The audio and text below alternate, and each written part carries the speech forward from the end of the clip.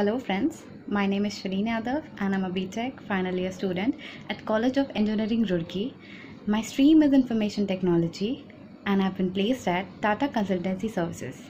And over here, I would like to thank each and everyone who has been there for me and supported me through the process.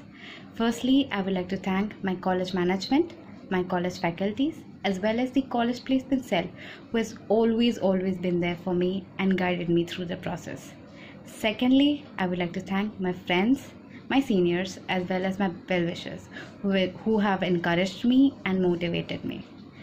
And they've always told me that I could achieve everything in life. And as for my juniors, all I want to tell you guys is that keep working hard towards a goal and you will definitely achieve it. Have a positive mindset.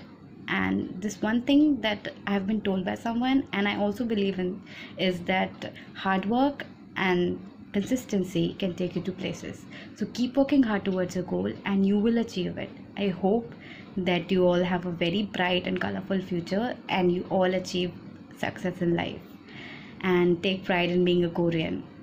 Thank you so much.